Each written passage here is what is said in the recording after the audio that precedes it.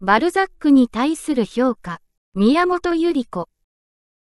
偉大な作家の生涯の記録とその作品とによって今日まで残されている社会的また芸術的な具体的内容は、常に我々にとって尽きぬ興味の源泉であるが、中でも卓越した少数の世界的作家の制作的生涯というものは、広大、文学運動の上に何かの意味で同様、新たな方向への模索が生じた時期に、必ず改めて究明、再評価の対象として広範な読者大衆の手に取り上げられるものであると思う。トルストイの作品とその生涯との社会的意味は、最近の過去10万67年間に彼の同時代人には見抜くことが不可能であったような生成とした歴史的、階級的特徴を明らかにして、世界文学の発展のために摂取せられた喜ばしい事実を、私どもは目撃しているのである。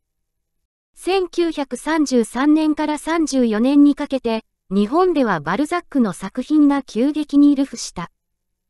全州観光が着手され、ゲーテ協会に対するバルザック協会が組織され、少し誇張した形容を許されるならば、文学について語るほどのもので一度もバルザックの名を口にしないものはないという現象を呈したのである。大体、過去においてバルザックの作品はむしろ投函に伏せられすぎていた傾きがあった。日本の文学愛好家の大多数は、モーパッサンの作品より少なくしかバルザックを読んでいないという実情にあったと思う。それ故郷、このトゥール生まれのわずか20年足らずの間に、人間喜劇96編の他小論文514、二極六編という膨大な制作を行い、しかも障害借金に悩まされ同士で死んだ王一的な世界的作家に母国語で親しめるということは、我々にとって遅すぎたとしても決して早すぎて到来した機会と言えないのである。しかし、昨今作家及び文学愛好者の間に生じたバルザック熱とも言うべきものを、その社会的要因にまで触れて観察した場合、果たして、それが文学の正常な発展のために積極的な意味だけを持つものであると言い切れるであろうか。答えは、おのずから複雑であろうと思われるのである。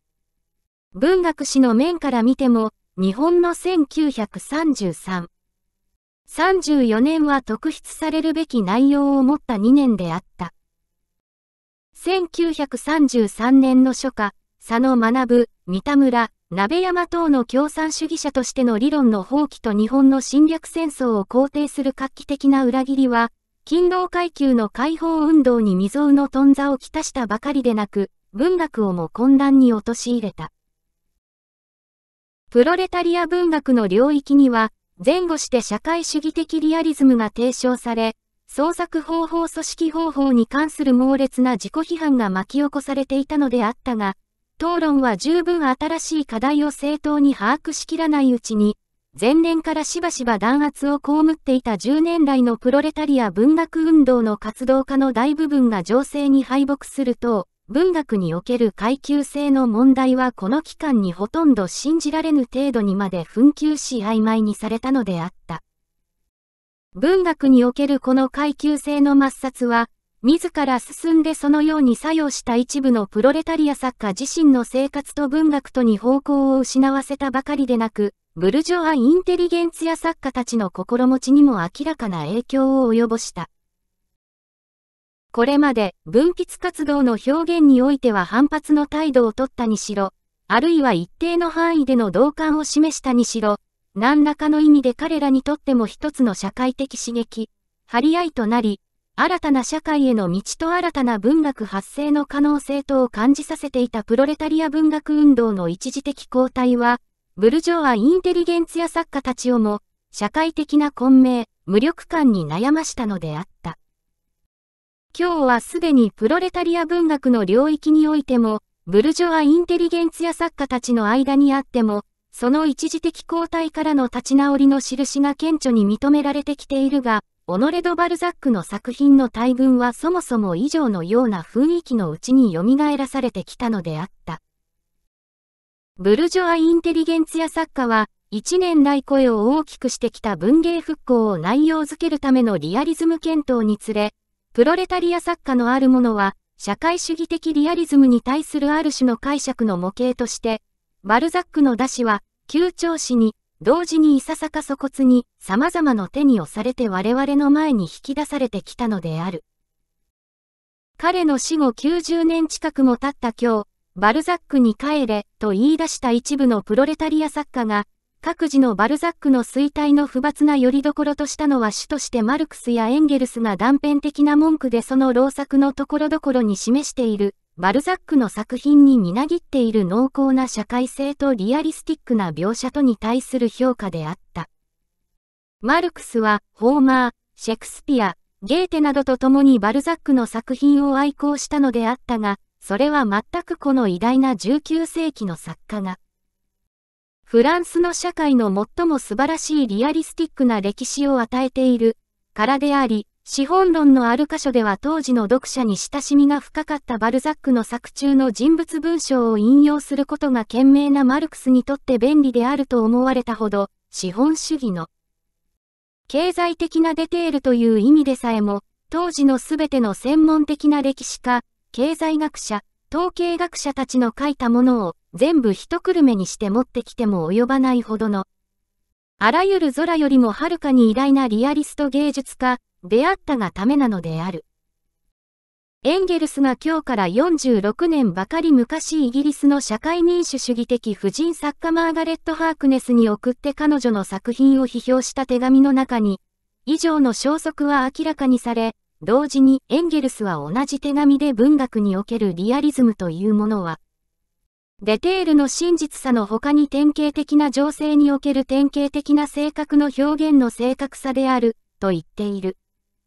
バルザックは、鳥も直さずそのような意味でのリアリスト芸術家であり、彼の作品がリアリズムの作品であったということはエンゲルスの言う通り。作者の見解いかがに関わらず現れてきたものである。すなわち地震トゥールの農民の息子であるに関わらず、生命に、ドをつけて呼んだバルザックが政治的に正統王朝派であったことは、同じバルザックが、牧師の中でマルクスの心を打ったほど鋭く現実の資本主義商業の成り立ちをカッパしていることと同着するものでないというのが、バルザックの貨車を押し出した一部のプロレタリア作家、理論家たちの論拠であったと見られるのである。ところで、ここに一つの私たちの興味と探求心とを刺激してやまない微妙な人間の心理的発動がある。それは、上述のような部分において行われたマルクス、あるいはエンゲルスの見解の引用を根拠としてバルザックをした人々が、当時の混乱していたプロレタリア文学運動に対しては一貫して文学における階級性の抹殺を提唱しかつ行動していた人々であったという事実である。弁証法的創作方法という過去の旗印は、哲学上の規定と文学の方法とのけじめを明らかにしない点に語尾を持ち、様々な段階と気質の作家を直接カツカツとした創作活動に引き込む役には立たなかった。けれども、社会主義的リアリズムの世界的なスケールにおける今日の提唱は、決して文学における階級的主張を引っ込めたものではなく、それとは全く反対に、従前よりさらに高まった勤労階級の指導力によって、従前よりさらに後半に、具体的に、政策的に文学における階級的移行の可能性を捉えたものである。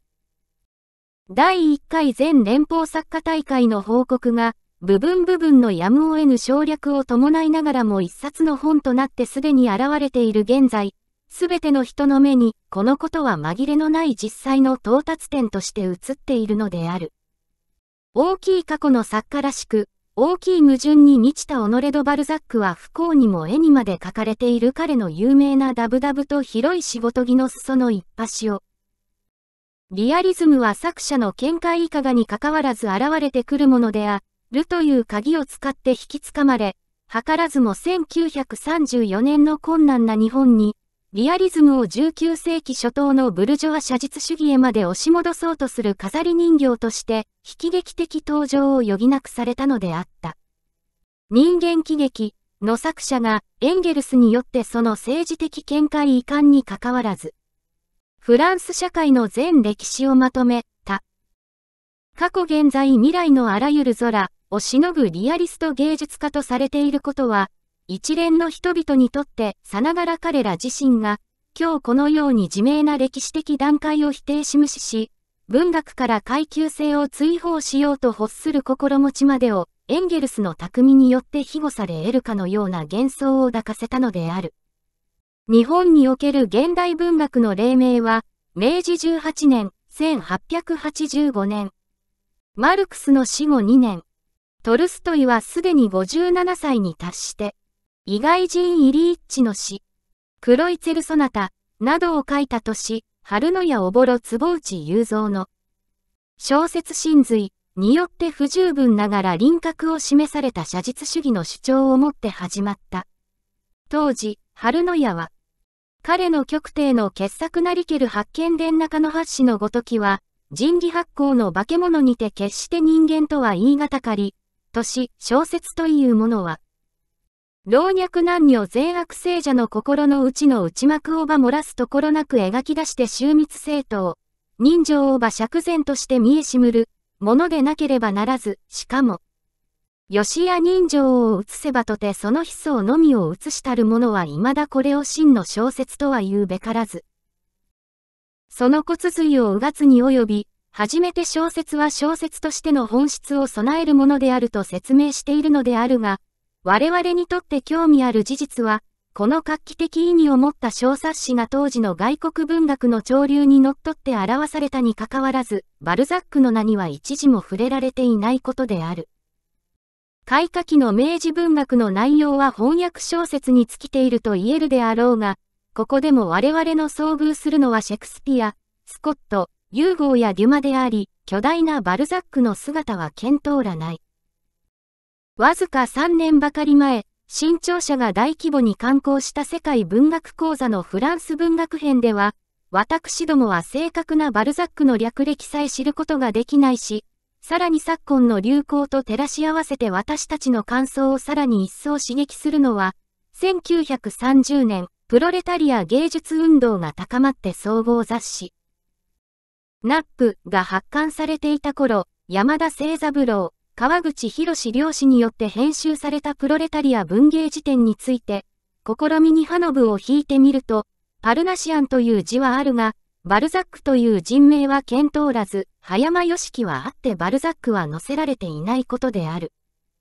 この時点において、リアリズムに連関して現れている芸術家はゾラ、フローベル、モネ、セザンヌ等であり、しかも弊社は明瞭な言葉でリアリズムの階級性にも言及している。我々マルクス主義者の言うリアリズムを履き違えて、あたかもそれが19世紀後半の写実主義と同一のものであるかのごとく考える人々があるが、それは誤解の人識ものである、と。バルザックの反乱的な芸術作品の中にいかなる大きい矛盾があったればこそ、かつては急進的であったインテリゲンツィアの一部がその生活と文学とから階級性を抹殺している今日の日本に、核も広範な干渉を呼び起こしているのであろうか。私たちはその秘密を知りたく思うのである。オノレド・バルザックは、1799年5月、フランスが共和政体となった第7年目に中部フランス、トゥールの町に生まれた。貴族好みで、ドをつけて自分の姓を呼んだが、バルザックの実際の家柄は貴族などではなく、彼が後年同盟なのがその階級の特性だといった農民バルザの孫息子である。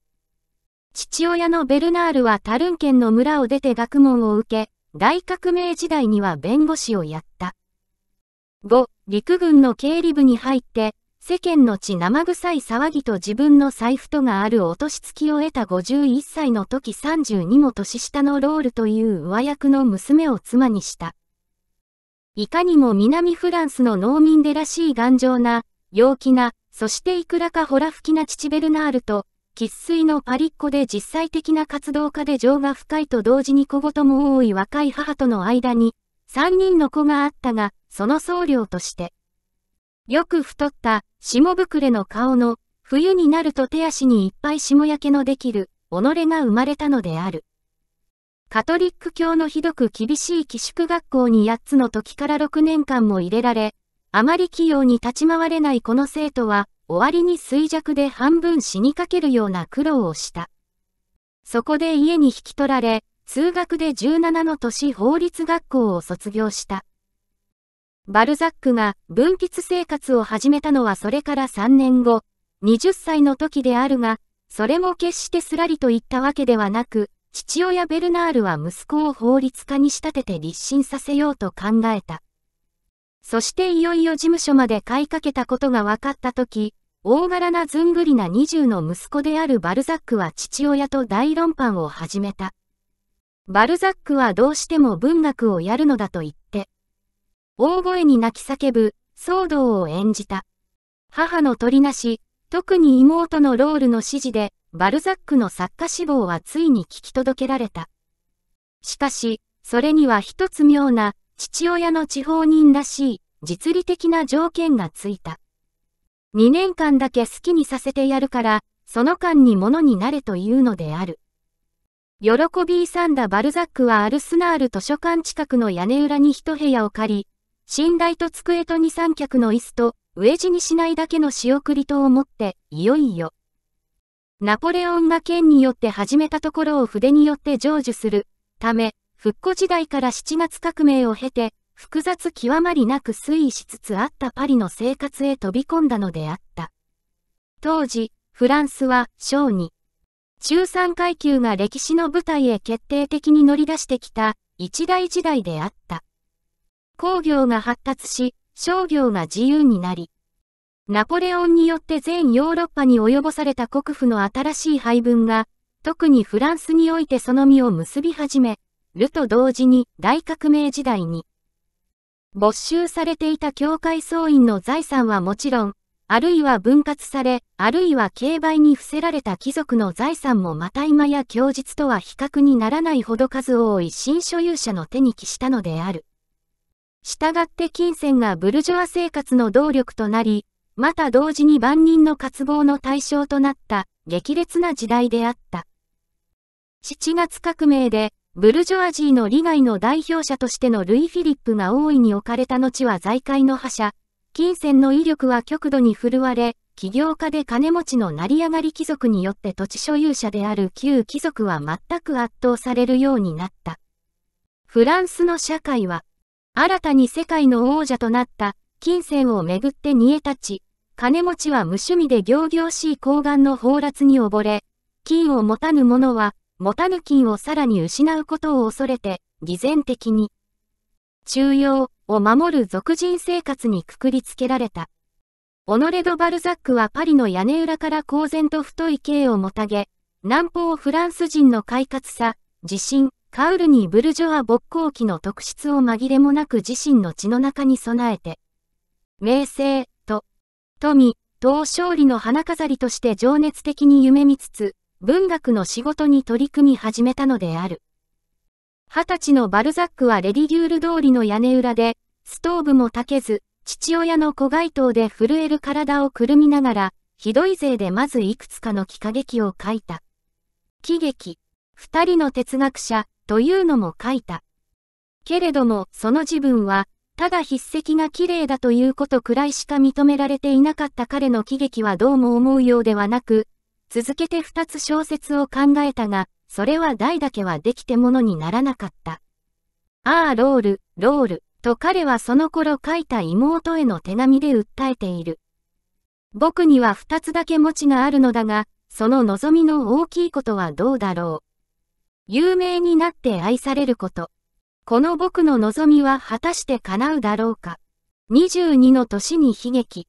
クロンウェルが書き登った時、バルザックはこれこそ。民衆と将王との祈祷書になり得る作品であると信じ、両親や友達を集め、朗読会を催した。彼が数ヶ月の間、部屋も出ず、レモン水と肩パンとで暮らしながら書き上げた。クロンウェルの効果は意外であった。朗読は、少しの反響もなく、聴衆の陰鬱な沈黙と呆然自失のうちに、終わり、さらにその原稿を見せた理工科学校の一郎教授は、親切にバルザックに忠告した。どんな仕事でもやりなさい。ただし文学だけは除いて、とこの、クロンウェルの失敗はしかし、バルザックの生涯にとって決して消極的な役割だけを持つものとはならなかった。両親はかえってこの熱烈で大柄な若者の野心のあまりひどい挫折をいたわり、小説で成功するためには金儲けをすると同じに、やはり時間のいることをおのずから得得したものか、健康回復をさせるため、バルザックを当時引退して住んでいたビル・パリジェスの家へ引き取った。食う心配はなくなったけれども、交渉人の収入と小説家の収入とを敏感に比べている両親を納得させ独立するために、金はやっぱり自身のペンで稼がなければならぬ。ビル・パリジェスに住んだ45年の間に、バルザックは、ある者は一人で、ある者は友達と協力して、妹ロールの言うところによれば、実に数十冊の小説をいくつかのカナで書き、それを売ったのである。不如意な窮屈な生活と戦い、自分ながら本名を出しかねるような三文小説を売りながらも、次第にバルザックは文学における自身の力をおぼろげに自覚し始めたらしく思われる。彼は、自分の思想の一番いいところをこんな仕事に犠牲にしなければならないのはたまらない、と短足を漏らしている。この期間に、有名なマダム・ド・ベルニとバルザックとの10年間にわたる意味深い葬式が始まったのである。ロール・ベルニ夫人の父というのは、ルイ16世の宮廷に出入してマリー・アントワネットの音楽教師を務めたヒンネルというドイツ人であり、母は、ルイズと言い、マリー・アントワネットの次女の一人であった。父の死後母は熱心な応答員である司令副官と結婚し、この一家とマリー・アントワネットの絆は、アントワネットが断頭台に登る前、ロールの母に自分の髪飾りと耳輪を形見に与えたほど深いものであった。そのような環境の中に幼児を経た頭の鋭い感傷的な性格のロールは、わずか15の年、宮廷裁判所の判事である貴族でのベルニと結婚させられた。大革命期には夫妻とも9ヶ月幽閉され、ロベスピエールの失脚によって解放された経験もある。早すぎてカーになったベルニ夫人と夫との結婚生活は性格の不調和から冷たいものであった。ベルニ夫人の夏別荘がビルパリジェスにある。そこへ息子の復讐を見てやりに行ったのが機会となって、バルザックは当時20歳以上年上であった夫人と結ばれたのである。バルザックにとってこの結合は初恋であり、ベルニ夫人にとっては最後の恋であった。この結合において、若いバルザックの受けた影響の深刻さは、彼の無限な作家的観察力をもってもなお自身の力では測ることが不可能であったと思われるほどのものがある。ベルニ夫人はバルザックを世間に押し出すために全く、母以上のもの、友達以上のもの、一人の人間が他の人間に対して成し得るすべてのものに勝る、献身的な情愛と社交婦人としての実際的な手腕を傾けたのであった。彼女はバルザックをカストリー公爵夫人のサロンに紹介し、そこにタカルド・ミュッセやサントブーブなど当時の著名な文学者に近づけるための努力をした。十数年後ハンスカ夫人に宛てた手紙の中でバルザックが当時の優しい階層に溺れながら述べているように、困窮の中にある。人間を極度の卑屈から守る自負を、バルザックの心に植え付けたのも彼女の激励の賜物であった。ベルニ夫人は、自分が両親を通して知り得た宮廷生活の内幕、とっておきの歴史家には知られていない事件などを作品の材料として話制作を刺激したばかりではない。百姓バルザの勢力と野心とに溢れた孫息子が、少年時代から憧れ通してしかも接近し得ないでいた貴族趣味、教養、貴族的気ぐらい、カトリック教の神秘の霧で、ベルニ夫人は自身のたくましい素朴な愛人をくるみ込んだのであった。ベルニ夫人の生活は、その時すでに新興ブルジョアと成り上がり貴族によって経済的に圧迫された貴族、人知れずやりくりに心をいたわし。小作人、家政のうんざりする細々したこと、に自ら煩わされなければならない、落泊に瀕した旧貴族階級の典型のようなものであったらしい。それにもかかわらず、社交界の伝統的な重い扉は、まだアデを失わぬベルニ夫人の手によってバルザックの目の前に開かれた。若い情熱的なオノレド・バルザックは社会的には古く、しかも彼の感覚には新しかった社会層との接触によってほとんど陶酔的に興奮したらしく見える。2年前彼が二重の時、レディゲール通りの屋根裏部屋から愛する妹のロールに切々と訴えた二つの希望。有名になって愛されたいという大きい希望に今やもう一つの、さらに困難で投機的ないかにも当時らしい性質を持った待望が加えられた。それは、自分も金持ちになって貴族になりたいという願望である。1830年前後のパリがそれを中心として二六時中たぎり立っていた。成り上がりの欲望と昇進がトゥール生まれの彼をもはっきり掴んだのであった。バルザックは熱中して金儲けのことを考えるようになった。貴族になるどころか満足に自活もできない当時の現状は彼を苦しめた。どちらかといえばバルザックよりはるかに実際的であったベルニ夫人も、そのことは現実の必要な問題として相談に乗ることを拒まなかった様子である。金を設けなければならぬ。しかもバルザックは究極において自分の欲求を満たす最も有力な土台となるのは自身の芸術上の成功であることを直覚していたから、落とし着いて本当の文学的作品を書く余裕を作るためにも、彼はたまらなく金が欲しかったのである。想像力と思いつきとに溢れたバルザックの頭は、ある特殊な出版事業を思い立った。それは、フランス劇文学におけるアポローであるモリエールと17世紀の大古典派のタカララ・フォンテーヌの作品の美しいエイリホンの出版とその売りさばきである。1825年、ロシアでは有名なデカブリストの反乱が悲劇的終結を遂げた年、いよいよこの出版事業に取り掛かった26歳のバルザックは、自分から活字屋になり、印刷屋になり、本屋にまでなって悪戦苦闘したのであったが、この金銭争奪で未熟な事業家バルザックがその一心に受けた打撃は恐ろしいものであった。ブロックを作ってそろそろと、しかし確実に孤立した古資本の企業を食い殺す大資本起業家の悪辣な術作がバルザックを破滅させた。フランス全国の同業者等は、この唐突に現れた資本も少ない若年の一出版業者が、義なく自流に投じるであろう出版計画を持っていることを見極めると、共通な悪形によって結束した。1万フランの資本をかけて出版した本の売り上げが、1年にやっと20部という目に合わした。たった3年の間に、12万フランの負債を背負ったバルザックは、ついに力尽きて、美しい出版物を紙くずのような値で投げ売りにした。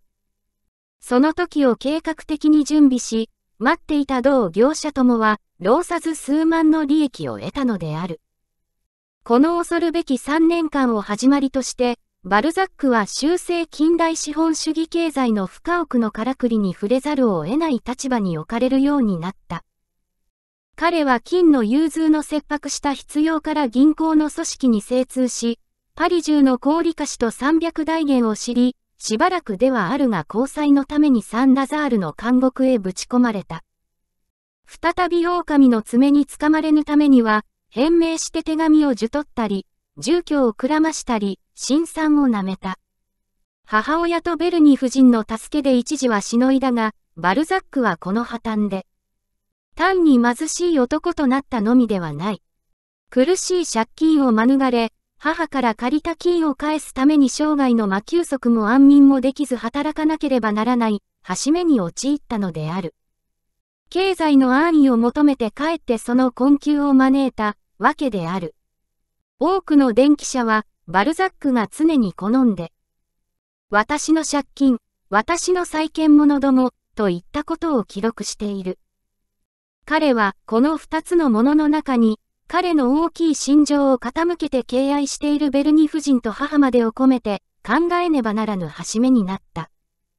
ブルターニュの昔からの知人の家へ暫時息抜きに出かけた。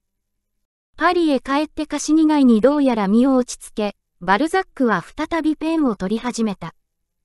負債と負債に絡まって押し寄せる一軍団の敵に立ち向かうために、彼はただペンの力だけが誠に自分に残された最後の武器であることを自覚したのである。この年、1799年のブルターニュの反乱を題材とした。ミミズク島を発表し、バルザックはこの小説で初めて自分の本名を署名した。続いて同年、結婚の整理を完成し、作家オノレド・バルザックの名はようやく世間的に認められ、新聞雑誌に喧伝せられるに至った。翌年、カトリーヌ・ド・メディチ、恐怖時代の一層は、などとともに発表された。外事家は、は、その生涯の最後の年にあったゲーテの注意をも引き、バルザックの作品は外国にも認められ始めた。日に10万78時間もぶっ通しの老作、彼の、お牛のような健康、で初めて可能な労働を続けて、依頼に10年間年々4、5編以上の生産を持つバルザックの作家活動が開始されたのである。これらの文学的成功は、幾分でもバルザックの経済危機を緩和したであろうと誰しも推察するのであるが、彼の場合実際生活は決してそのように内輪に運転されなかった。一部をやっと返済したかと思うと、一方では負債の増大するようなことばかりが起こった。自身、いつ返せるか等のない借金の山を追いつつ、ヴェルデやサンドーの借金の承認に立ったり、いかにも彼らしく、まだ書いてもない小説からの収入までを残用して使いすぎをやったり。特に1831年、派手で鳴らしたカストリー公爵夫人と激しい恋に陥ってからの波乱多い5年間、バルザックの大胆不敵なやりくり生活は、兄を信頼しきっている妹をも恐怖させる程度に達した模様である。出版書士からの手形の書き換えでやっとやりくっているのに、バルザックは馬を数頭、馬車を2台も買って、自分は金ボタンのついた青い服を着、貴族風な長髪を整え、手には当時すべての漫画に添えて書かれたトルコ玉を散りばめた有名な杖を持ち、貴族街サンジェルマンなどを歩くときには、イギリス風に仕立てたページを背後に引きともして歩くというありさまであった。性格的にはベルニ夫人と全く反対のカストリー公爵夫人の気に入るために、バルザックはカズ県から応答派代議士として立候補し、いずれも落選した。いわゆる高貴な骨董趣味に溺れて莫大な収集を始めたり、邸宅を構えようとしたり、すべては金のいることばかりである。この期間は、今日になって眺めるとバルザックのさして長くない生涯にとって、最も急テンポに彼の政治上の応答派的傾向とカソリック精神とが固められた時代であった。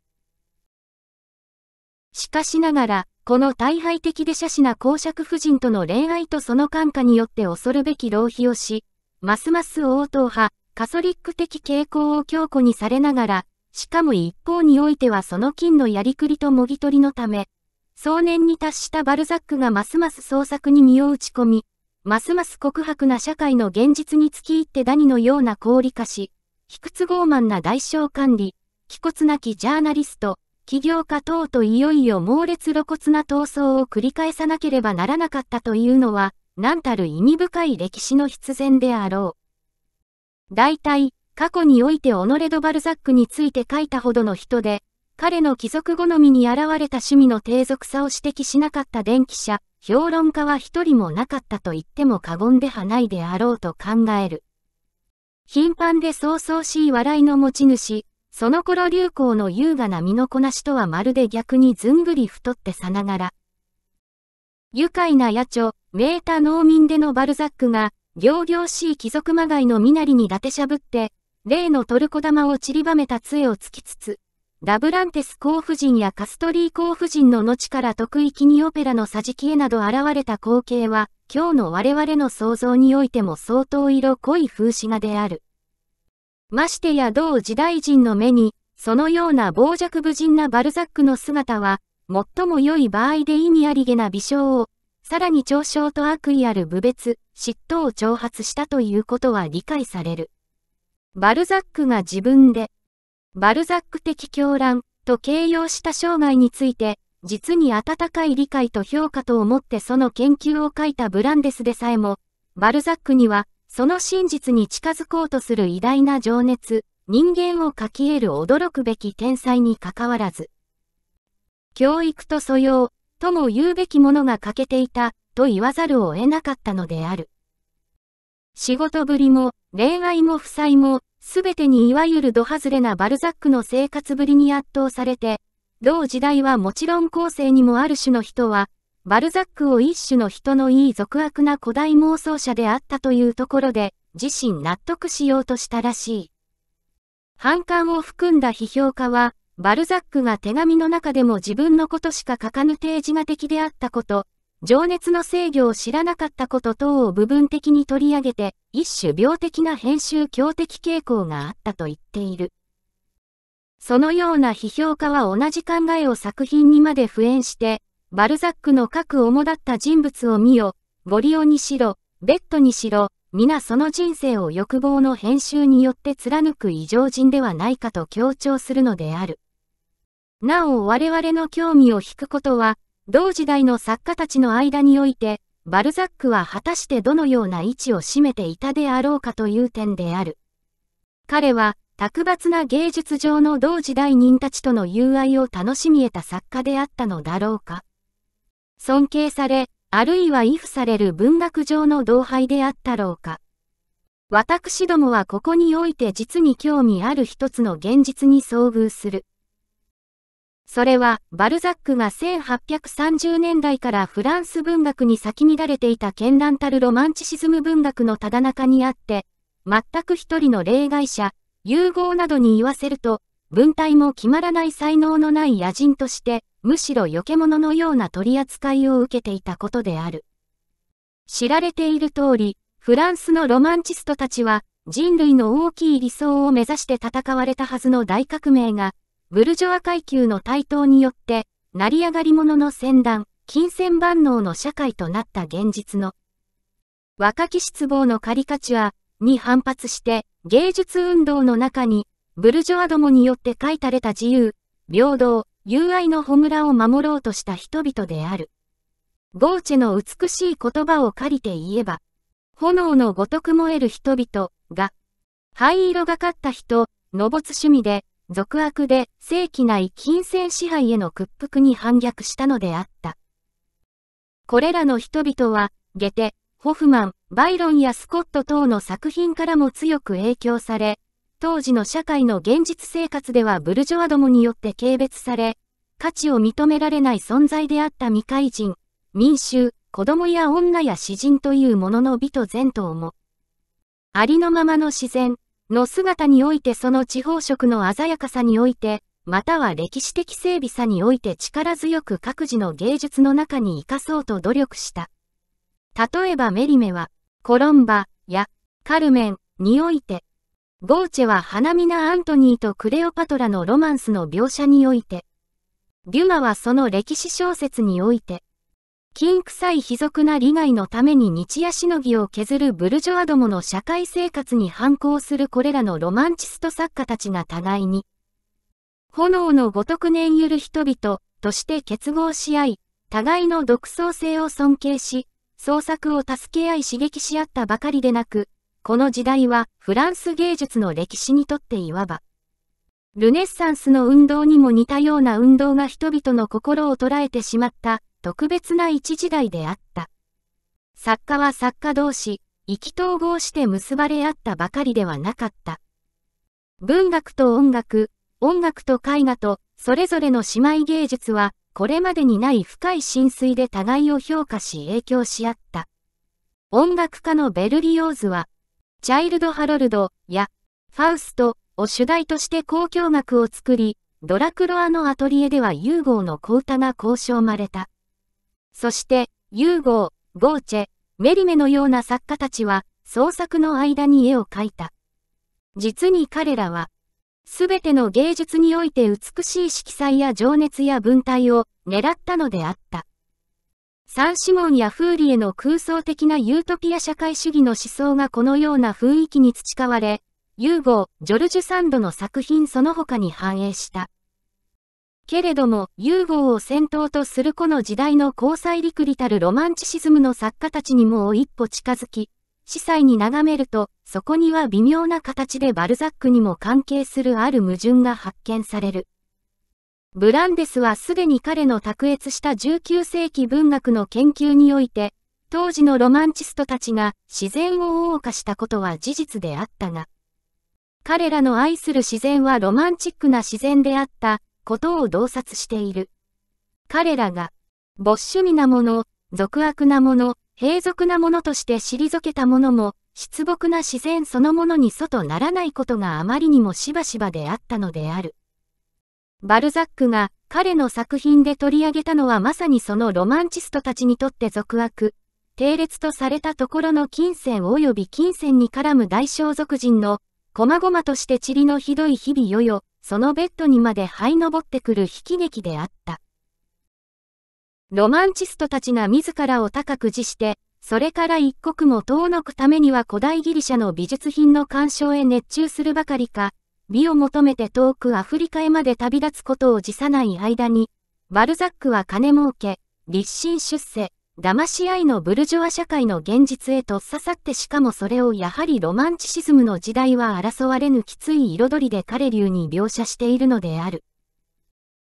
20代のバルザックがまだ偽名で怪しげな小遣い取りの小説を書いていた頃から彼を知っているサントブーブなども自身の優秀な批評家としての感受性でバルザックの雄大さ、独特性、芸術上の追随を許さぬ成果を認めてはいるが、決してそれ以上の打ち込み方でバルザックを評価する力量を持っていなかったことは明らかである。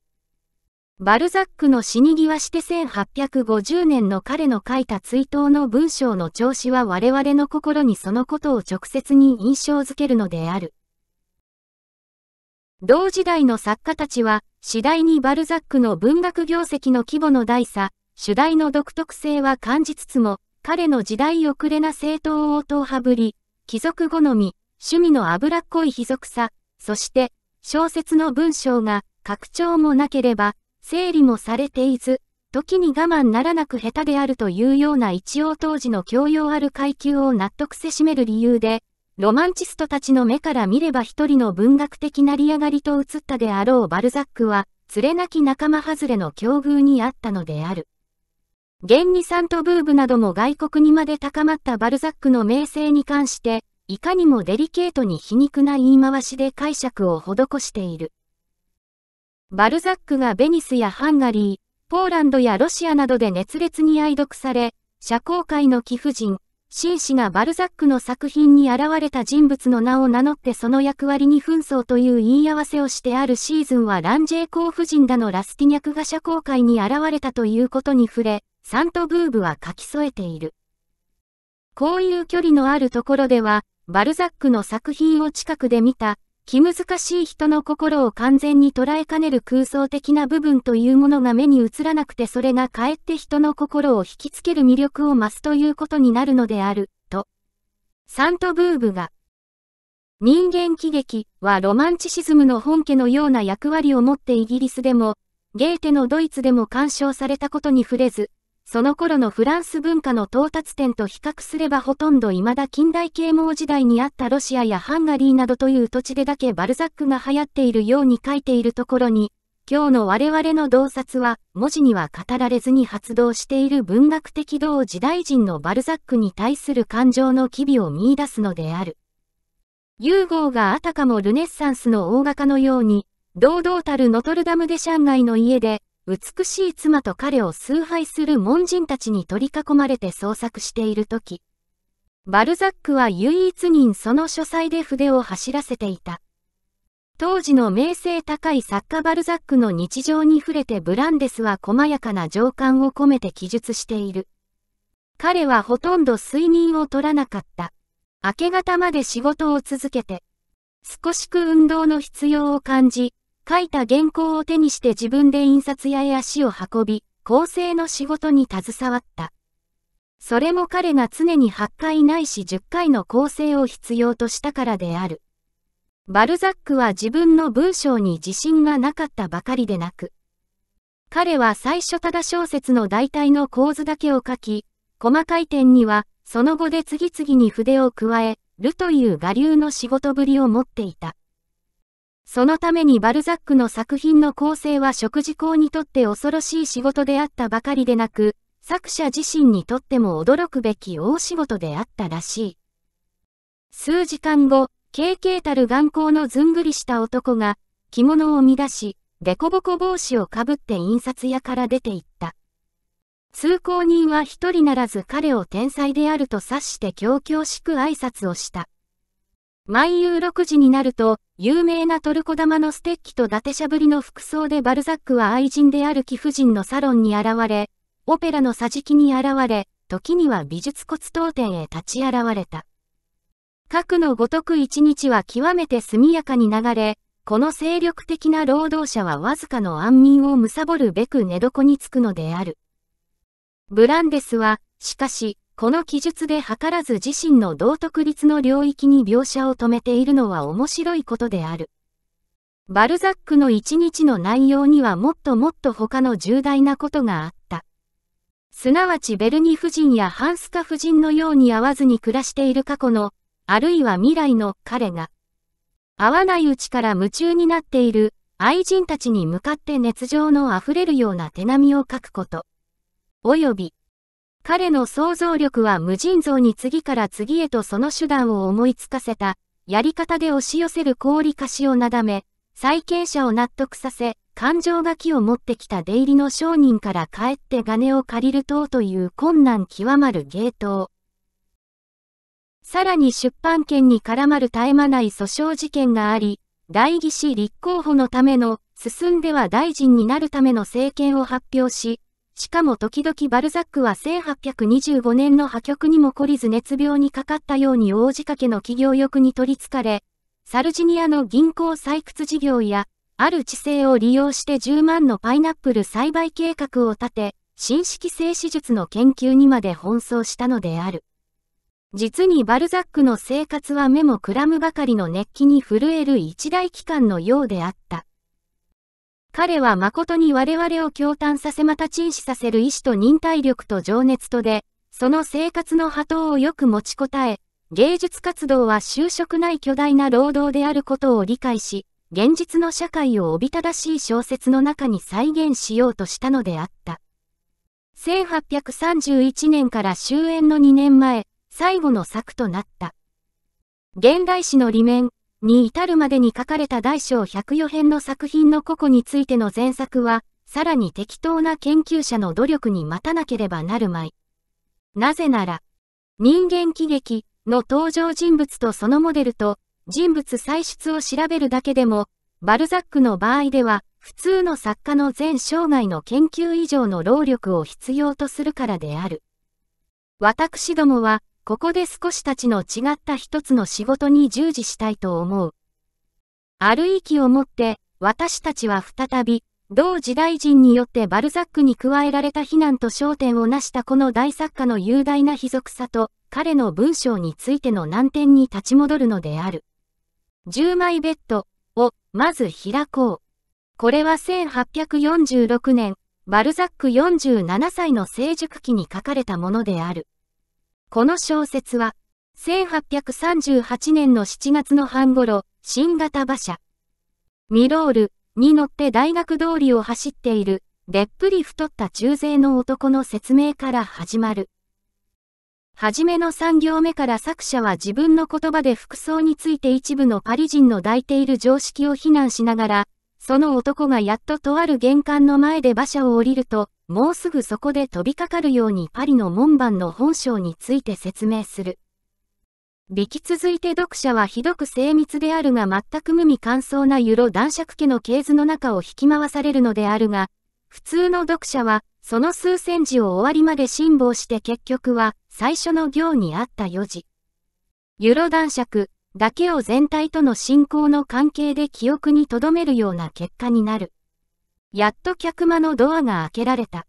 我々の目前にユロ男爵夫人、その娘オルタンス、その娘に手を引かれた籠城ベッドが現れる。たちまちベッドの周りをぐるぐる回ってその服装の細をほじった説明に絡んだ作者の解釈。客間の古び具合の現実的な観察。その客間で。昔は京ジャムやポルトガルのドブロクを売ったコアキンド、今ではブルジョワ化粧品屋でユロ男爵の息子にその一人娘を縁づかせている位相のクルベルが、安芝居のような身振りたくさんで、しかも婿の生計を支えてやらなくてはならぬ愚痴を並べ、借金の話、娘の持参金についての利子勘定のまくし立てるような計算と全く混然結合して、道楽な夫のために悲運にある低血なユロ男爵夫人に高顔な求愛をする。ユロ男爵夫人の目下の全関心と母としての宗教的な努力は父親の宝刀で持参金も少ない一人娘オルタンスを身分の釣り合った家柄の者と結婚させたいという最後の苦しい願望に集中されているのである。クルベルは、夫人をしつこく口説くのであるが、その、あの手この手はことごとく男爵家の陥っている経済的困難を中心とする脅威であり、誘惑である。色と欲とに揺るがぬ根を張った強い色彩と行動との中にいつしか読者発り込まれ。もしも私があなたのためにあやを破っておりましたら、クルベルさん、それでもあなたはそのようなことをおっしゃったでしょうか？とユロ夫人はクルベルの顔を見つめながら言った。そんなことを言う権利はなかったでしょうね。アドリーヌさん、とこの奇妙な恋人は男爵夫人の言葉を遮りながら頓強な声を出した。私の心にさえ従っていれば、あなたは私の財布の中からオルタンスさんの持参金を出せますからね。さて、その言葉を証拠立てるつもりでもあったのか、死亡太りのクルベルは、床に膝をついてユロ夫人の手に接吻した。このカツカツと緊張して、しかも落としつき、社会の理名を暴く残酷さでは骨髄をえぐっている描写は、消えぬ絵となって我々の印象に焼き付けられるのである。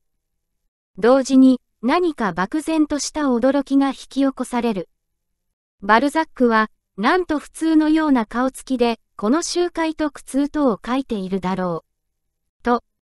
読み進んでゆくうちに、読者は至るところでしっくりはまり込めないデコボコした説明にぶつかったり、そうかと思うと、思わず作者バルザックに対する疑いを呼び覚まされるような大行な、歴愛の大古典時代めいた形容詞を羅列した文章に足を絡まれる。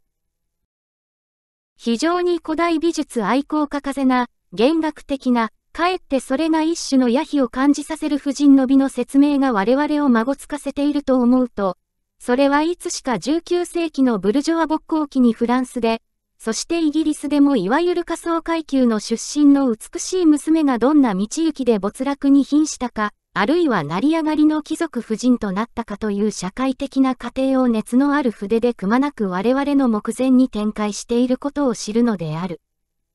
野蛮人や仮想階級の心理について独断的な傾きの強い作者の説明に対して極めて自然に、そして正当に広大人である我々の心に起こる反発。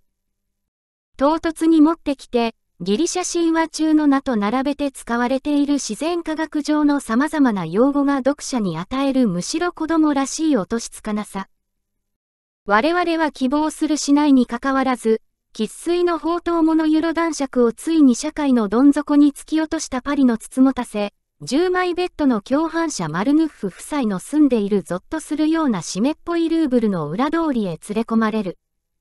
マルヌッフ夫婦の悪行で曇った食事皿の中のインゲン豆に引き合わしてしまうまで、バルザックは一旦掴んだ我々の手首を離さぬ。さらに、ポーランドの独立運動に対する妥協のない作者の反感。常にイギリスに反発して示される民族主義的な誇り。私の性的はすなわちこの性的です。ああ王族は決闘準備、というような無雑な応答的自己陶酔。いつそう我々に納得されにくい独裁先制政治と宗教についての暴圧的政治論等々、読者は決してすらりとこの一編の小説を読み追せることは許されない。主樹の抵抗にぶつかり、小道へまで引き回され、油のきつい文章の放散する匂いに揉まれ、しかもそれらのごたごたしたうちから、彷彿と我々の印象に刻された10枚ベッドの復讐の恐ろしい情熱。マルヌッフ夫妻、ユロ男爵の底を知らぬ深刻な情欲への没落。カトリック的献身の見本のようなユロ男爵夫人、ジョセファをめぐるドゥミモンドの女たちの強い身振り暮らし方等は、極めて色彩が濃く、忘れようとしても忘れることは不可能である。すべての人物が着実に現実的に書かれているかといえば、そうではない。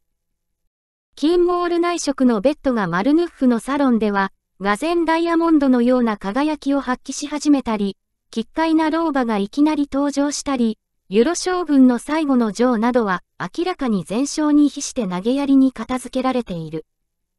突き進んで言えば、10枚ベッドの心持ちが、あのような規模と貫徹性とをもって発動し作用し得るかどうかについても一応疑われないこともないのである。バルザックと同時代の作家であるメリメの作風と比べて、これはまた何たる相違であろう。フランス三文の規範のようなメリメは異国趣味でロマンティックな題材と情熱とを、厳しく選択して理性的に配置した文章の鮮明な関係な輪郭の中に打ち込んでいる。メリメの作品の力と欠点とは整然とした描写の統制の中にある。バルザックの文章は、書かれている事件が複雑な歴史に踏み減らされたパリの石敷道にブルジョアの馬車が立ててゆく誇りを浴びているばかりでなく、文章そのものが、まるで、一見無駄なものや、逸脱したり、曖昧であったりする様々な錯綜したものをひくるんで我々の日常に関係してくる社会生活そのもののような性質を帯びている。バルザックの小説において、読者は融合の作品に対した場合のように、主要人物の動きに引き回されるばかりでは済まない。もう一つ、文章そのものに感情を刺激されたり、思考を誘い出されて観察を目覚まされたり、と揉まれるのである。そして、我々は時に退屈したり、腹を立ててバルザックを軽蔑したり、つまり自身の内から情感を生き生きと書き立てられて、結局全編を貫く熱気に支配されるのである。バルザックの文章の混沌的情熱の模倣は不可能である。真似したとすれば、彼の文章の調子の最も消極的であるところだけがさ末的な精密さや、議論壁、大げさな形容詞、一人合点などだけが、大きいボロのような重さで模倣者の文章にのしかかり、据えた悪臭を発するに過ぎないであろう。バルザックの文体をガン見する余裕、その諸要素を理解し分析する力の積極性においては、同時代人の中でも、後に自然主義文学に基礎を与えたテーヌがさすがに立ち勝った見解を示している。サントブーブは、バルザックが、10枚ベッドの中のパンセラスに関しての芸術論で、サロンで大成功をして、体制の芸術愛好家に相談をされて、批評家になってしまった。うんぬんということを書いたのにひどく肯定して、バルザックの死に際して書いた文章の中にわざわざ今日の我々から見ると意味深い崇高を書き加え、バルザックは批評を無視したことを言っている。サントブーブはその感情的基礎に割れ知らず作用されて、バルザックに対してはどちらかというと批評家としての自身の才能を活かしていない。言い換えれば出し惜しみをしているのであるが、バルザックの文体を。彼の文章の中には生き生きとはしているが、不十分で、勝手気ままで、しっかりと決まっていない表現がたくさんにある。それは、表現しようと企てているもので、どこまで行ってもそうである。彼の印刷屋はこのことをよく知っていた。彼にとっては鋳型そのものが常に煮えくり返っていたのであるから、金属の形の決まりようがなかった。と評しているのである。バルザックの文体の不確実であるという意見では、テーヌも決してサントブーブと反対のそばに立っていない。彼もサントブーブと同じようにフランス文学の古典の中に教養を受けてきた人にバルザックの作品を読ませたら、どんなに彼らはびっくりするであろうかと言い、進んでこの点を一つのはつらつたる喜劇的場面に書いて追求しているのである。まずその人は、大冊16巻からなるその作品の量を見て、このバルザックという人はよくもこれだけ書けたものだと一興しながら、手当たり次第に、その一冊を取り上げ、疑い深そうな様子で、どこかのページを開ける。偶然こういう言葉に出くわす。最も優雅な物質性がすべてのフランドル人の習慣の中に刻印されている。その人は目を丸くし、しばらく考えた後、それはきっと。フランドル人はその安楽な生活の習慣のうちに、非常に風雅な趣を増している、という意味だなと合点する。そうして、バルザックはどうしてこんな弦楽的な物言いをするのであろうかと不思議がる。翻訳しながら読むのでは疲れるから、もっとさっぱりした簡単なのが良いというので。トゥールの司祭を開いて読んでゆく。そして、そのうちに彼は、旗と逡巡する。これが女性の大集会の毛細管を通じて投げ出される文句の実態である。これでは生物学の講義でも聞いているようだ。なぜかくも難しい術語を百科事典式に書き並べるのであろうかと探索する。さらに、その人はわざわざしい書き起こしに煩わされ、乱災ぶりに悩まされ、詩人バルザックの難重さに苦しむのである。そして、最後にその人はこう言うのである。私が誰かの作品を読むというのは、教養が高く人と会談する術をわきまえている人を私の家へ入れるのと同様である。ところでバルザックさんは、義芸辞典かドイツ哲学指定用か自然科学寺かのような物言いをする。たまたまそういう暗号のような言葉を使わないときには、みだらなことを言ったり大声で叫んだりする労働者のバルザックが姿を見せる。それからとうとう芸術家のバルザックが出てきたかと思うと、それは多血質の乱暴な、病的な男で、様々な観念が、盛りだくさんな、凝りすぎた、拉致が入れな文体に盛られて、やっと外に飛び出すという状態である。このような人は、人と談話する術を知らない人だ。私の家のサロンにはそんな人は入れない。テーヌとサントブーブの批評家としての歴史における価値の相違は、まさにこれから先に発展する二様の見解によってはっきりと決定されるものである。サントブーブは、大体同じ批評の後バルザックがせめて古典文学の文体について一つ二つの法則を知っていたならば少しはマシであったろうにと論を進め、ペトロニウスを引き合いに出したりして前世紀文学の文体の中庸と新古典主義時代の内容等を求め、ジョルジュ・サンドと比べて、マダム・サンドがバルザックよりも大きな確かな、力強い作家であることは今更言うまでもない、という風な我々の理解力では受けがいがたい評価にそれ、反動的泥寧に陥ってしまった。テーヌは、以上のようにバルザックの文体に対して与えられる可能のあるほとんどすべての非難を引き出した後、そのような、全くフランス的な古典主義的な判断は、17世紀のフランス人の生活と精神の習慣から来ている判断である。と解釈した。17世紀の人々がそこに文化の中心を置いて生活していたサロンと、その時代の社交界の人々が、優美な大数式を語るような、順序や語源や、比喩の釣り合いに絶えず制御されていた分析的な考え方等は、バルザックが生きて、愛し、苦しんで、金銭のために勝利し続けた19世紀前半の社会生活の現実の中にすでに跡形もないものである。サロンの代わりにイギリス流のクラブができている。花やピアノの飾られた部屋ででも話すことは、政治、鉄道、それから文学のことを少し、事務のことをたくさん、男は男だけ固まって、しかも夕飯後は喫煙室へ行って話すようになってきている。20万56を超えた男でダンスをする者が何人あろうか。そして実際それも通りである。バルザックが実際社会に日夜接触する男たちは、自身の没落によってか、さもなければ成り上がりの野望の成就、そのための陰謀、偽善、買収のために疲れ、心配気で本当の笑顔を失った男たちばかりである。テーヌは19世紀初頭の、パリは全世界のあらゆる思想が詰め込まれ、精錬された貯蔵所であり、上流期であることを認めている。核のごとく神経過敏になり、核のごとき環境に育って、彼らはいかなる種類の思想にも喜びを感じることができ、しかも奇抜な形をとった思想をしか引用しない。バルザックが、その回帰癖と、弦楽趣味と解明で誇張的なその文体とで、以上に述べた近代人の趣味が要求するものの名を上を行っていることは遺憾ながら私も認めざるを得ない。しかし、それは問題でない。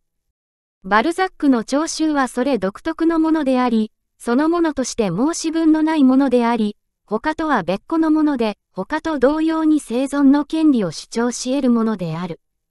そして、テーヌはそのことこそ、彼の文体の癖が我々の生活の習慣と適合し、作家たるバルザックが公衆によって認められるゆえん、であると結論しているのである。いわば非難合々たるバルザックの文体も、根本は当時の社会生活の特質によってきたらしめたものであると看破したところに、イポリート・テーヌの確固たる時代的卓越性がある。同時に、今日の歴史の到達点に立って顧みれば、テーヌが唯物論者として社会と文学との関係を彼の芸術理論の重要な3つの点、遺伝、環境、時代との輪において捉えつつ、やはりその頃のフランス唯物論のブルジョア的原曲のうちにあって、彼も結局は受動的な、循環的な、観念を社会諸現象の土台において理解したため、バルザックの批評にあたっても、テーヌは同時代人の誰よりも突き入って、人間喜劇の作者の社会性を肯定したのであるが、巨大なバルザックの体の中に驚くばかりごたごたに詰め込まれている矛盾を歴史の発展の方向で鮮明することは不可能であった。バルザックの全生涯、全芸術の最も大きな骨組みをなす矛盾は、彼が自身の現実生活で満喫した社会悪、階級権力の欺瞞に対し常に熱の強い憤懣の状態にあり、この社会を人間の生産力、才能その他を活かし得るところとするためには、社会科学を全く作り変えねばならぬ、と言いつつ、一方、自然においては一切の運動が循環であるらしく見え、結局、精神及び観念のうちに革命は作られねばならぬ、と帰結した道行きのうちに隠されている。卓抜な洞察力に関わらず自身の世界観のうちに全く同時代的な矛盾を持っていたテーヌが、社会関係においては受動的に現象羅列的にバルザックを説明することはできても、絡み合ってバルザックそのものを成している諸矛盾とその社会的根源までを解きほぐし、発展的モメントを取り出して示し得なかったことは、誠に興味がある。我々は元よりその歴史性を咎めようとはしないのである。バルザック自身が自分の文体を持て余し、汗水垂らしてそれと格闘したありさまは、すべての電気者によって書かれ、まざまざと目にも浮かぶばかりであるが、バルザックは文学作品における表現というものに対してはある指揮権を抱いていた。文章論に通行して、言葉の上の間違いをしでかさないぐらいでは、王詩人にはなれないて。前時代の古典主義に対して彼はこう挑戦した。芸術の使命は自然を模写することではない。自然を表現することだ。我々は事物の精神を、魂を特徴を具合えなくてはならない。芸術家は、自然が真っ裸になってその真髄を示すのやむなきに至るまでは根気よく持ちこたえ、なければならぬ。そして、線というものは、文学での言葉は、人間がそれによって物体に落ちる光の効果を説明する手段だ、とバルザックは考えた。ある芸術の中に外観がよく具合得られ、本当のように書かれている。それでいい。しかもそのではダメだ。君たちは生命の外観だけは捉える。けれども溢れ出る生命の過剰を表すことができない。バルザックが以上のような基準に従って現実と取り組み、自身の文体をも構造しようと努力した態度のうちには、今日においても学ぶべき創作上の鋭い暗示、真の芸術的納采者の示唆を含んでいる。それなのに、バルザックはなぜ作品の実際では、あのように量的には未曾有の技術の鍛錬にかかわらず、修正混乱し続けたのであったろうか。どこからあの全作品を通じて特徴的なリアルで精細に富んだ描写とくどくどしく抽象的な説明との作者に自覚されていない混同、比喩などにはっきり現れている著しい古典趣味、宗教草と近代科学との無雑な競り合い、現実的な観察が次第に架空的古代的な類型へ昇天する奇怪な道行きが生じたのであったろうか。サントブーブのような批評家は、その原因をバルザックの想像力の応一とか制御のない熱情とかに帰しているが、それは悲壮な観察であると思われる。バルザックはむしろ、金銭争奪を中心とする社会的神羅万象のただ中に日夜もまれて、自身の大胆な手足からうなねっこまで現世的紛糾に絡みつかれつつ、小説の上にその社会的人間関係を再現しようとするにあたっては、自身の上に飛びかかってくる雑多な印象、観察、観念の間にはっきりした計量ができなかったように思われる。バルザックはパリの黄群衆に自身もその一人として混じって、笑顔を持って行われ、内実は血を吹くような悪形。音もなく新聞にも書かれぬ深刻な悲劇が、二六時中起こって消えつつあるのを経験し、すべてそれらの悲劇こそは、万人の渇望する金銭をめぐっての事件であることをバルザックは看破した。しかしながら、彼は金銭のそのような魔術性の根源を見破る力はなかった。それどころか、最もその魔術に見せられたパリにおける地方人の一人であった。バルザックは身をもって金銭という近代文学の一大主題をつかみ、修正それについて老作し続けたのであったが、作家として彼が生きた時代との関係もあって、その主題の歴史性はついに見通し得ずに生涯を終わった。したがって、金銭をめぐってのあのことこのこと、その諸関係が並列的に現象の平等性をもってバルザックの作家的認識の世界に評価を求めて異臭してきたのは実に自然な成り行きであったろうと推察される。バルザックは社会的現実を再現し、しかもそれを金銭、利害の根源との相互関係において芸術に表現するためには、実に声を上げて群がり来る無数の印象を書き分け、観念と取り組みつつ、全く、自然が真っ裸になって、その真髄を示すのやむなきに至るまで、根気よく持ちこたえて。そこまで行くには、自身、人の数倍の汗を彼の有名な仕事着の下に書き、さらに印刷工を苦しめなければならなかったのであろう。ブランですが、非科学的であったと評し、今日の目で見れば極めてそれが自然発生的にされていたことが明瞭である創作の方法で、バルザック自身、自分の文体の独特性に対しても叱るべき確信は持ち得なかったらしい。苦しまずに、すらすらと整って美しい文章を書くゴーチェ、彼の唯一の親友であった同時代の才能を素朴に驚嘆して、1839年、40にもなり、すでに、人間喜劇の構想を得て数年後であったバルザックが小説、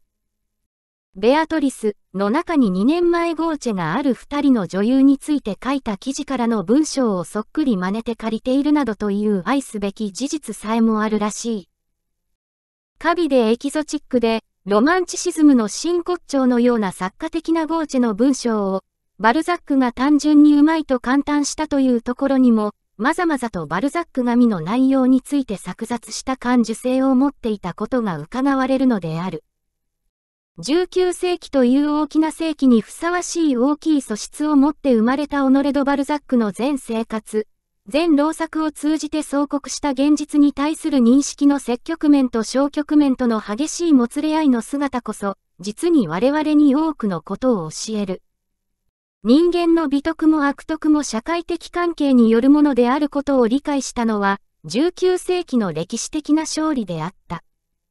さらに、その現実社会に、極めて現実的に揉まれ、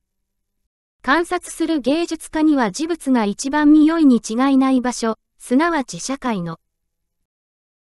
下から群衆に混じって根句と苦闘を経ながら放くことのない天才の資質と思ってそのを眺めた。バルザックが複雑的な形態で各人に作用を及ぼしている社会的モメントを突き詰めれば、それは二つのもの、色と欲とであることを観察し、さらにこの二つのものにあって究極の社会諸現象のネジは、外ならぬ金銭であることを結論したのは、疑いもなく他の追随を許さぬ彼の現実探求の積極性であった。ところが、ここに見落としてはならぬことは、そのバルザックが自身の引きをも含めて運行するあらゆる社会生活の現象の奥に金の力を看破したと同時に、その威力に屈服し、広範な現実生活の社会性、歴史的発展の要因をその関係においてはあくまで受動的に固定させてしか理解し得ない状態に陥ってしまった事実である。金銭争奪とブルジョア階級の資本の集積のために取られる結婚制度から植民政策に至るまでのモロテ団とその過程を、バルザックは完膚なく文学に描き出し、その点では全くマルクスやエンゲルスにとってさえも有益で具体的な資料を与えた。しかしながら、バルザックは、その金銭が本質に含んで刻々に増大させつつある生産所関係の矛盾や、それによって心善に引き起こされる支配階級の質的変化という現実のより深い真相、歴史の動きゆく基本的な動力に対しては、盲目に等しかった。彼は、社会の、複製は同一の実態、彼はここに金を置いた、の諸形態である、と考え、また当時すでにブルジョアジーにとって脅威であった民衆の台頭は、ブルジョアジーが貴族に対して台頭したのと同じこと。いな、貴族に代わって権力を割り、貴族の言ったすべての悪行をさらに小型に没趣味に多数に再生産したブルジョアの就航非道を一層非ギタナにしかも仮想階級のおびただしい人口の数だけ増大させるに過ぎない恐るべき。近代野蛮人の鈍乱であると理解した。バルザックはパリの階級勢力の移動と栄枯盛衰がその間に激しく行われた7月、2月の政変をも経験したのであったが、彼は社会的変革も要するに金をめぐってもがく人間の流血的な循環運動に過ぎぬと見たのであった。それにつけて私どもの思い出すのは、バルザックが死母の女房を描いた、その書きぶりの特徴である。バルザックは、死母の神さんがポンスの財産をせしめようという欲に目覚めた。その途端に、彼女の平凡な市民的親切心が全く質的に一変したありさまを、読者の日常心を指すような鋭さで描写している。私どもは、そこに怖いほどなリアリストとして真理のモメントを捉えている作家バルザックの軽眼を感じるのであるが、さて、一旦欲にかかって腹を決めてからの死母の神さんの描写はどうであろうか？私どもは欲のめきとして一貫性はありながら、なんだか本当にされぬ死母の神さんの現実性を感じる。欲の数のり型ではあろうが架空的な誇張や一面的な強調を描写の中に感じ、そこに至ってはバルザックがロマンチストであったことをかえって思い返す心持ちになってくるのである。この現実の描写に現れてきている理解の食い違いこそ、バルザックが受け身にだけ、しかも具体的内容では必然的に違うそれぞれの階級の歴史性を抹殺して、金に支配される点だけを観念化して同一視した彼の世界観を私どもに説明するものなのである。バルザックはプロレタリアートが次の社会の担い手であることを当時の現実から承認せざるを得なかったのであるが、彼はそれを循環する自然の現象の一つと見て、その意味で避けがたいものとした。社会関係で人間の悪徳、吉則は変わると一方に理解しつつ、バルザックは時代の担い手。現代の野蛮人は、変化された社会関係の具体的現実によってどのように高められるかという発展の可能性は乱し得なかった。だから、彼はあくまでも経験主義者らしく、また白鳥バルザの野心大なる孫息子らしい不能的現実性で、プロレタリアート鎮圧のためには、彼らすべてに所有の感情を与えよう、とか、カソリック宗教だけが金銭に対する欲心のほむらに水をかけるものであるとか、彼らが先制政治の徳を知るまでは不幸に支援銀せざるを得ない等と考えたのであった。この新たに盛り上がって、慎重になった民衆のサムソンは脅威後、社会の中石を祭典の広間に揺るがす代わりに、穴蔵の中で覆す、であろう階級勢力を。支配するためには暗黒に留めておかなければならない、というバルザックの実践的な結論と、彼が法律や権力の偽善を暴き、それが不者のより富むための道具に過ぎぬことを実に彼独特の巨大な熱情という弁当で暴露した事実とは一見矛盾するが如くであって、しかも彼にあっては差の同着もなかった。なぜならば、オノレド・バルザックは20で、一文なしの見習い分子として屋根裏で震えながら海のようなパリの屋根屋根を眺めていた時から、全くすべてのブルジョアの若者が抱くものと同一の短所的な欲望。金持ちになって、愛されたい、ために少慮し尽くし、さらには、金持ちになって、貴族になりたい、ばかりに、死後まで残るような負債をさえ背負い込んだ。パリにおける偉大な地方人バルザックのいかにもその時代のフランスらしい成り上がり欲は決して彼が希望するような程度に満たされた時がなかった。彼が必死に富もうとすれば、より富んでいる者がさらに富むために彼を危険に陥れ、不者の権力、その法律はその不者の公然たる危険を擁護し、裸同然の彼を追い回し苦しめた。彼がブルジョアジーを猛烈に攻撃するのは、実に彼自身がその一人となろうとする欲望の邪魔をされ続けたからであり、彼の貴族崇拝、政党応答派的見解は、すでに崩壊した階級の敵と個人としての彼の敵とが図らずも一致したからのことであったのである。それであるならばと、私どもの心には別の疑問が生じてくる。どうしてバルザックは、その憎むべき階級ブルジョアジーを倒す新手の力、彼の怨恨の階級的な復讐力としての大衆を見ることはできなかったのであろうかと。答えは、やはり同じ源泉から引き出されると思う。バルザックは現実社会との格闘において、彼が希望したように広大な規模においてでこそなかったが、すでに十分大きい名声と借金と共にではあるが富をも、所有し、その、感情を持っていたのであり、大衆がその土台を穴蔵から覆すことがあれば、彼は自身が憎悪に燃えつつこう汗を代償として奪い掴んだ一辺のものさえ放棄しなければならなくなるであろうことをまがう方なく知っていたからである。革命の与える経済的上乱ほど悲惨なものはない。最悪よりはより少なき悪を、大衆による広範な悪徳の電波よりは、まだしもブルジョアの今のままでの悪行を。そして、自分が無一文になるよりは腹立たしいが今あるものを手放さず。そういうのがバルザックの考え方の道筋なのであった。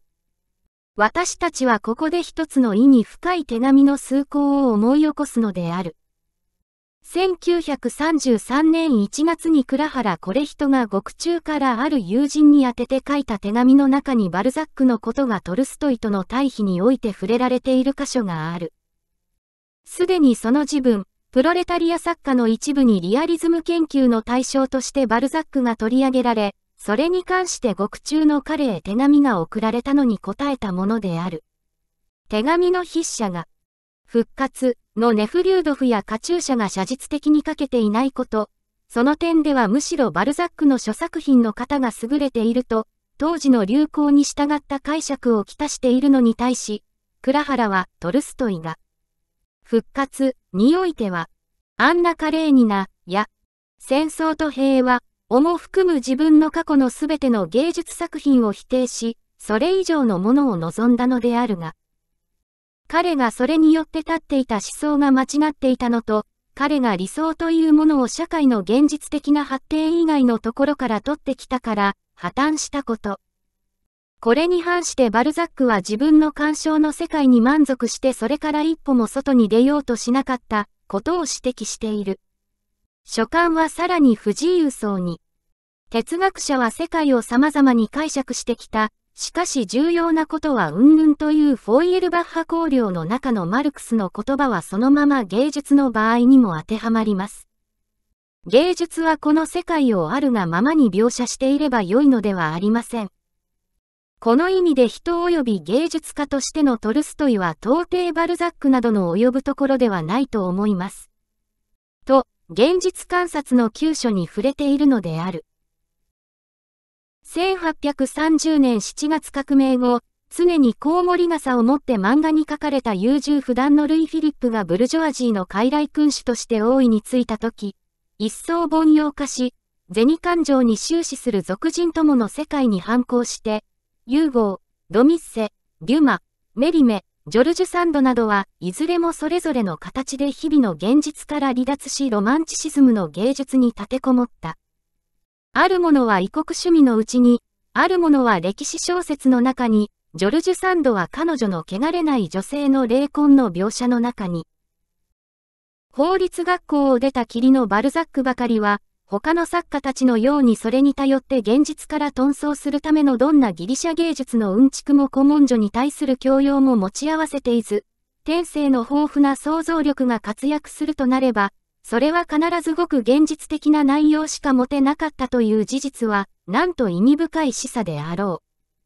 う。なるほどバルザックは、沢山旅行をし、サルジニアや南部ロシアへまで出かけたこともあった。が、それはゴーチェが異国情緒を求めてスペインへ行ったのとは違い、サルジニアにある銀行で儲けようと思いついたからであったし、南ロには後に結婚した彼の愛人ハンスカ夫人が3000人もの濃度のついたそこの領地へ行っていたからである。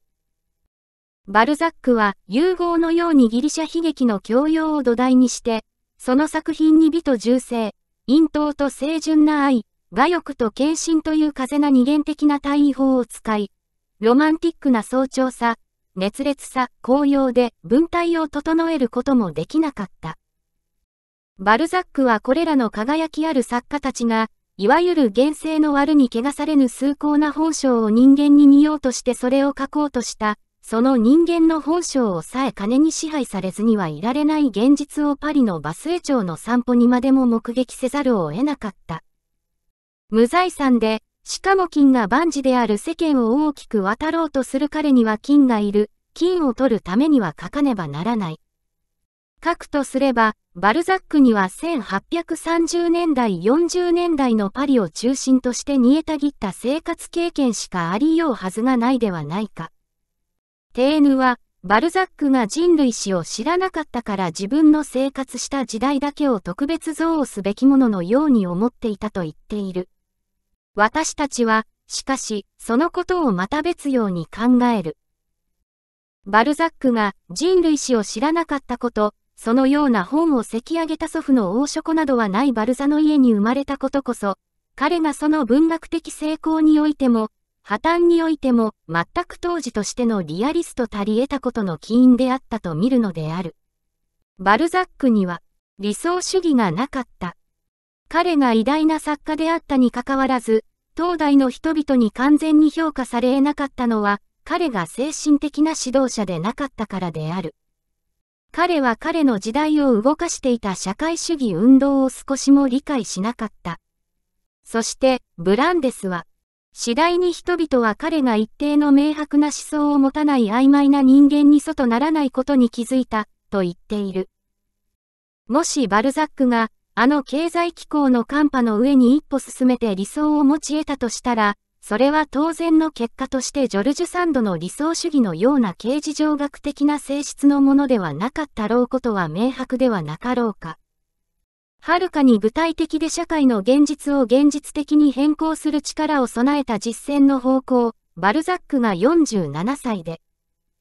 10枚ベッドを書いた年、すでにブラッセルで連絡委員会を開いたマルクスが示していた歴史の発展の方向に、自身の道を発見するしか仕方がなかったであろう。しかし彼は、その道からは恐怖をもって退いた。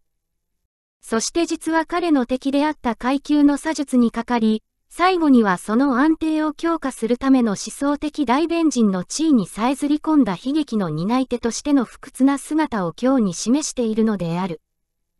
しかもバルザックが遭遇したような歴史的巡り合わせは、資本主義による階級対立の社会が続いている今日においても、その特殊な内容をもって十分知的才能者の足を引っ掛け得る遠縄となっている。バルザックが10世紀の勃興する自然科学の新世界に触れて自分から自然科学者、であると名乗りつつ、ジョフロは、サンチェーレの生物学における種の認識を根拠として、社会と自然との類似を指摘し、社会は人間をその成長すべく運命づけられた環境に従って作り上げる、という時、今日の知識人はバルザックが自然科学をよりどころとしてかえってプラトーの奴隷搾取者としての社会観に似るところまで反動的に引き戻したことを直ちに理解する。しかし、現代の高度な資本主義の社会観の発展と地球6分の1を占める社会主義体制との摩擦は、自ら異なった要望で、新興勢力のうちに含まれている強大な可能性を歪曲しつつあるのであるマイカ。エンゲルスがマーガレット・ハークネスに送った手紙に、作者の見解いかがに関わらず、政治的には正統王朝派で、あったに関わらず、バルザックが、真の未来の担い手たちを見て取ったこと、それを、リアリズムの最大の勝利の一つである、そしてバルザックこそ偉大なリアリスト芸術家であるとしていることは、誤りでない。しかしながら、歴史上権威ある人々の所感にはある場合注釈が必要とされるように、現段階に立ってエンゲルスのこの書簡が読まれるについてはやはりいくつかの短い脚中の必要が避けがたいと思われる。例えばエンゲルスは、この手紙において、バルザックが、真の未来の担い手を見て取ったことまでにしか触れていないのであるが、今日の世界の到達点に生活する我々の実践的な要求にとってはそれから先のこと、すなわち、バルザックが自身の力で見て取った真の未来の担い手に向かっていかに結合していったかという、その現実の過程にまで立ち入って学ばなければならない。マルクス・エンゲルスの芸術論、岩波版において F. シルレルは精密な海中を付している。シルレルは、バルザックの芸術についてエンゲルスの言ったリアリズムとは、資本主義的発展の内在的矛盾を、それが一般にブルジョア的創作方法に可能である限りにおいて、というのは、ブルジョア的リアリズムは究極において観念的なものになるからだ。解明するようなリアリズムの問題であると説明を加えている。これは妥当な仲介であると思われる。しかしながら、エンゲルスの手紙からの上記の引用を基礎として、エンゲルスは、バルザックのリアリズムは革命的であると見ているのである、と矢継ぎ早に結論しているのは、理解にある困難を引き起こされる。ゾラのバルザック論その他に対し、芸術創作の過程における意識化的なものの力を過大視する評価の仕方に賛成を表さぬシルレルの態度は十分頷けるが、その点を押し出そうとして、無条件にバルザックが現実観察に際しては、分析的な、研究的な態度を持ってその社会的現実の主樹層を後半に書いているとだけ言い、しかも、デテールの真実さの他に、典型的な性格と典型的な情勢との表現の正確さがある、まさにエンゲルスが、人間は彼が何をしているかということだけで特徴づけられたのではない。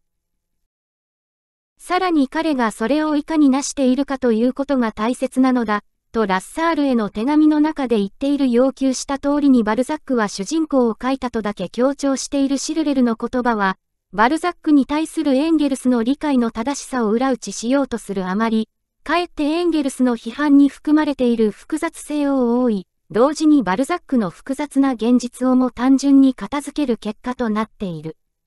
究極において、バルザックは、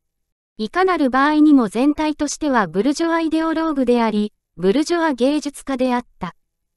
フランスの古い商業ブルジョアジーの社会観の支持者であったことをシルレルも認めているのであるから。シルレルのエンゲルスの言葉に対する理解はやや悲壮的に表現されていると感じられる点は次のような部分にも認められる。例えばバルザックの作品の現実について読み、観察をした者は、単にバルザックの主人公が何を、いかにしたかを理解するだけでなく、当然のこととして作者バルザックはその一編の小説の主人公とその環境の描写を通して、何をいかに言わんとしているかということにまで触れてガン見せざるを得ない。作品の実際では、何をいかにということが二重になって切り離せぬ相互関係において生きてくる。作品の具体的な場合について見ると、しばしばこの二重の何をいかにの間にある矛盾が引き起こされていて、ある作者の真骨頂をその芸術作品の具体性において捉えるためには、外でもないその二重に押し出されている何をいかにの間にある矛盾の本質をこそ究明しなければならないという場合がある。シルレルが見落としているこの小さい、しかも重大なる点が、バルザックの正しい理解のためには特に慎重に取り上げられなければなるまいと考える。なぜならば、バルザックは全作品の随所に自身の熱血的矛盾を吐露していて、主人公を簡単にはっきり捉え、何をいかにしたかという一筋の道行きを今日増物なしに書く場合は実に稀であった。描写の間に、あるところでは描写を押しつぶして作者の説明や演説が出てきて、それは主人公が何をいかにしたかということに絡んで引き出された全く作者バルザックの主観であり、独断であり、あるいは偏見や追随である場合が多かった。